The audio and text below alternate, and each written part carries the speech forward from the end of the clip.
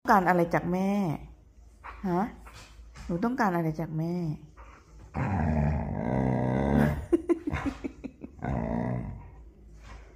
จะให้แม่ไปทำอะไรกับพี่ดิ๊กพี่ดิ๊กเขาก็นอนอยู่กลางสนามเฉยๆ ก็เขาไม่ได้ทำอะไรให้หนูอะแม่รู้แล้วว่าเขาอยู่ข้างนอก แล้วหนูจะให้แม่ทำยังไง หนูก็อยู่บนบ้านหนูก็ไม่ต้องไปยุ่งกับเขา